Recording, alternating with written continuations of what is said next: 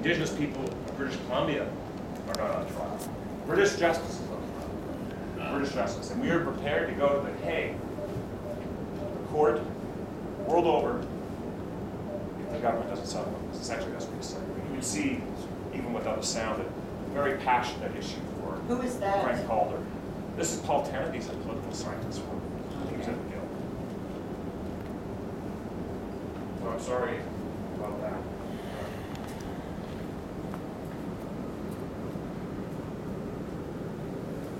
So, in British Columbia, I've already kind of sketched out that things played out a little differently in the province. Uh, in 1866, the province, uh, sorry, the two colonies of British Columbia and Vancouver Island were amalgamated into one, and later, of course, entered the Federation as British Columbia. The very first act of the colonial legislature, March uh, 1866, was an ordinance uh, further to define the law regulating acquisition of land in British Columbia. And what this did was it explicitly prohibited indigenous people from preempting land or homesteading. So, this is actual wording from the ordinance. The rights conferred on British subjects or aliens in preempting crown lands in British Columbia shall not extend to any of the aborigines of this colony or the territories neighboring there too. So even from this, you can see that even people who, from outside the country, from aliens, from Europeans, who had this right to homestead, but not the indigenous people of uh, territory. And here we have indigenous uh, leaders meeting with the governor at the time, Governor Seymour, to discuss the land issue uh, the year before uh, this ordinance. So indigenous people were already advocating for their rights with respect to the land, uh, even before this was passed. This is where I live in New Westminster. It doesn't look like this anymore. But, uh, you can see that the Stó:lō uh, Nation, this is the people that I work with in my work, uh, were gathered in, in the city in the 1860s to, to pressure the governor to address the land issue. So it must have been ironic for indigenous people of the day uh, to see someone arrive from Liverpool or Rotterdam or somewhere in Europe or come up from California in order to pan gold. And these folks had no trouble settling on a homestead of prime farmland on the Fraser River. But if you've lived in this area since time immemorial, you are now stripped of this right to homestead on your ancestral lands. And to make matters worse, shortly after this ordinance was passed, uh, Joseph Trutch, who was BC's Chief Commissioner of Land and Works, reduced the modest reserve allocations of former Governor, uh, Governor James Douglas by 90%. So it was kind of a double whammy. Massive reductions in reserves at the same time being stripped of the right to homestead. James Douglas was, I don't know if you learned from him, but it's an interesting topic, he was quite progressive. He was actually married to uh, an Aboriginal woman and was part black. He had very enlightened views on the issue of race, and he did regard indigenous people as equals. Um, so after the gold rush, was a gold rush in the Fraser Valley uh, in the Cariboo region. After the gold rush began uh, dwindling in 1866, uh, some prospectors departed, but many more stayed to homestead. So with the gold rush, we had like thousands of people which had a very small settler population, and uh, many from California, and uh, uh, quite a few of them stayed to homestead after. So there was quite a bit of uh, tension around land issues following the rush. So what, what was the settlers' media the day? I say the settlers' media because clearly these publications were written by uh, settlers, for settlers, and didn't include, didn't, include indigenous people as part of their audience. These newspapers strongly advocated to the government that these people be prohibited from, these people being indigenous people, be prohibited from homestead. Here's a couple of excerpts from the British Columbia, which was published in the Westminster from 1862. So this is kind of just the lead up to the passage of this ordinance. Can Indians avail themselves of our preemption law? Are they eligible to preempt and hold land as British subjects. This inquiry is rendered all the more pertinent at the present time from the fact that a number of Indians have actually preemptive allotments.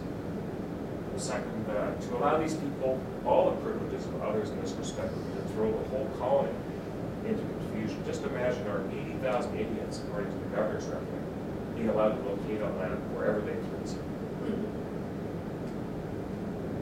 Now, just to kind of appreciate this uh, in the context of local understand, or sorry, of, of uh, understandings of uh, the hierarchies of civilization that existed at the time. Here you see, this is from the sort of mid 19th century. This is put together by the uh, official historian, the Stó:lō Nation, Thor Carlson.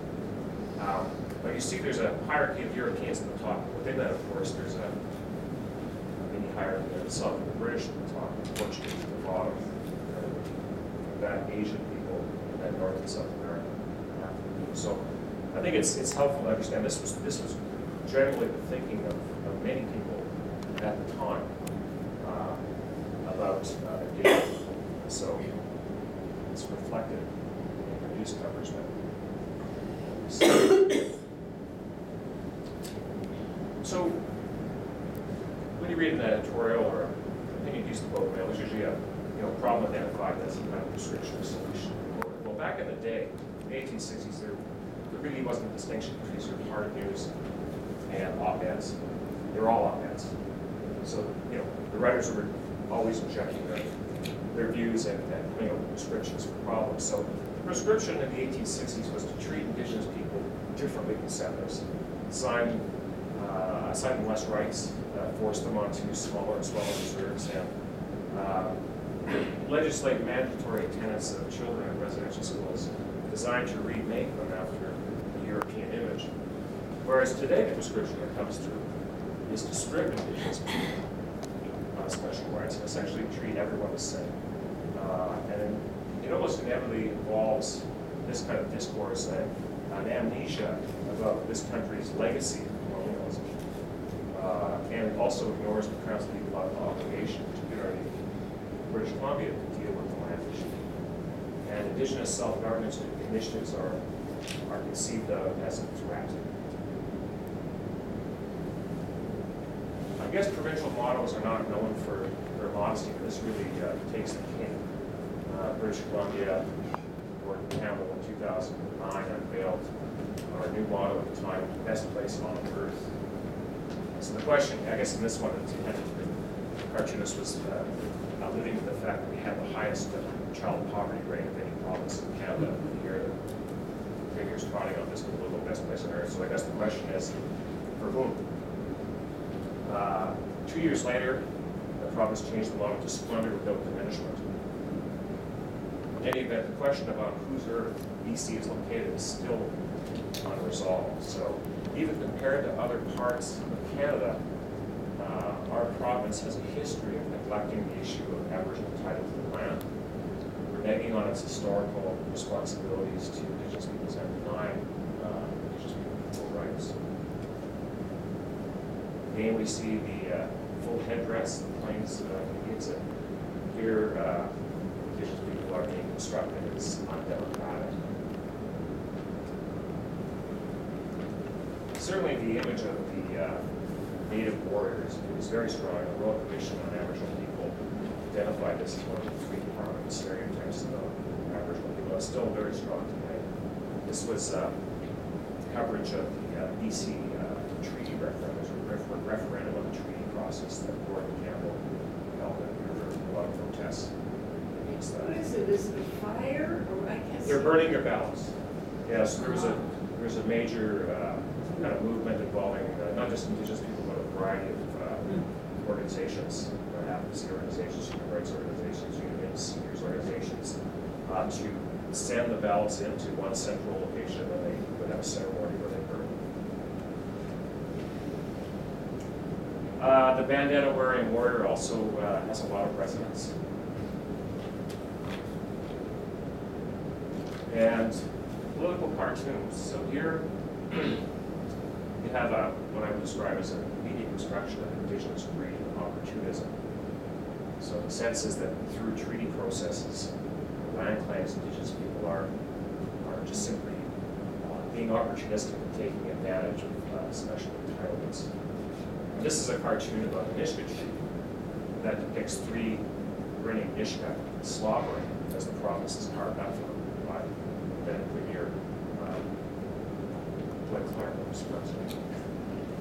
And again, the feather headdresses, and also, in this case, war. So that's from the Victoria Times Colonist, just before the tree was uh, signed. One of the things you also see is a lot of inflation of identity, often to that kind of image of the Plains Indian with the headdress. So in this case, this was at a time when Vancouver was uh, in the running for uh, 2010 Olympics. And um, so you have the headline, natives go to Europe to walk our Olympic. So first of all, which natives? The fact is, only a minority of First Nations, and you gotta remember, British Columbia has more linguistic diversity than Western Europe. A lot of distinct First Nations who take very distinct and different positions on fundamental issues. So in this case, only a minority of uh, Indigenous people protested the Olympics. In fact, most local First Nations were active partners in the They were very pro-business, very pro-development, yet that's not how they were portrayed. And then there were some First Nations who were kind of indifferent. Their position was, well, if you want to go have your Olympics, go ahead. And yet here, there's, everything is conflated into natives. It'd be a little bit like in, uh, I guess in the field of these people, France and Germany did something, then you know, make generalizations, and the headlines about Europeans do this or that. It's that's correct. And then very binary coverage, you know, a construction of us versus them, which comes across in the, uh, our, and clearly that doesn't include the way that headlines constructed, it doesn't include the vision. Quite ironic in British Columbia, when you have one person who owns more than half the commercial fishing licenses, that indigenous people will be constructed as sort of enemies of the environment and as having endangered the salmon industry. Yes, indigenous people do have a special right to fish, but it's for only for food and ceremonial purposes. If Jimmy Pattison owns more than half the commercial fishing licenses in the province, uh, he's not being asked to use it only for, you know, to feed his family and for throwing big parties. But this is, this is a, this is a very strong image that comes across in covering, covers the BC uh, fisheries. Here you have the use of uh, the chief whipping up natives over Canadian grounds. Again, this use of the word whips plays into an old stereotype of indigenous people being sort of constitutional or innately warlike and and emotionally uh, volatile.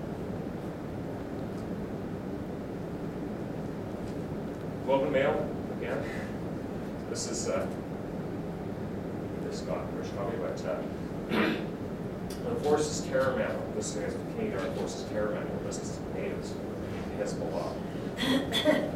So again, this, this plays into stereotypes of indigenous people being, uh, threatening, uh, in terms of physical security and also endangering the economy. Now, no question, the fact that the Canadian Army included uh, Indigenous people in its counterinsurgency manual, that's new, no question about it. A front page headline, in which a national newspaper puts natives with Hezbollah unnecessarily reinforces uh, the stereotypes of Indigenous people as threatening dangers. Of course, headlines have a lot of power. A lot of people don't read anything more than the headline, they the paragraph. It's the thing that people tend to do research in psychology, and it's, it's, it's the, one of the features that people tend to recall later on when uh, defining, defining issues. This is from the local newspaper uh, in Westminster. Uh, Here, the more inclusion and diversity, you have the uh, Coast Salish cedar hat. So it's not just the Plains Cree headdress, there's, so maybe that's, a maybe that's a positive sign.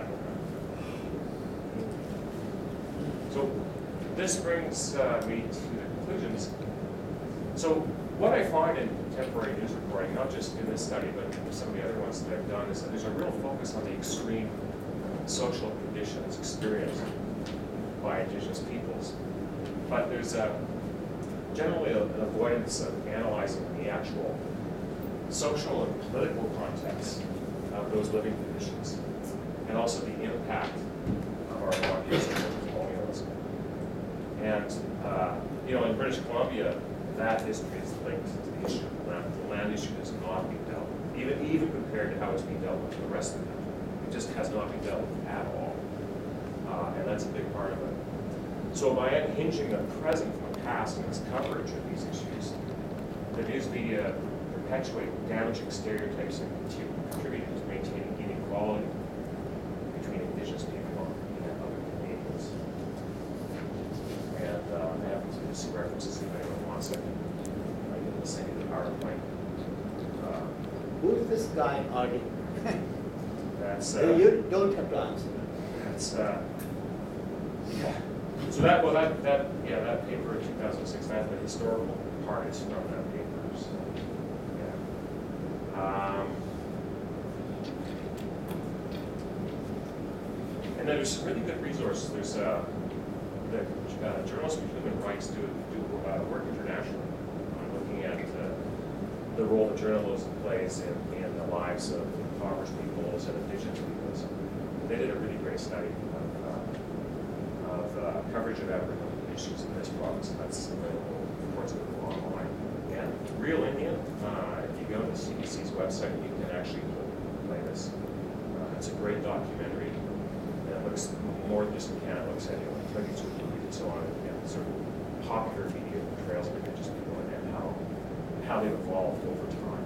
So those are two great resources. uh, Anyway, uh, thanks for listening. I realize I'm probably coming from a different place than most people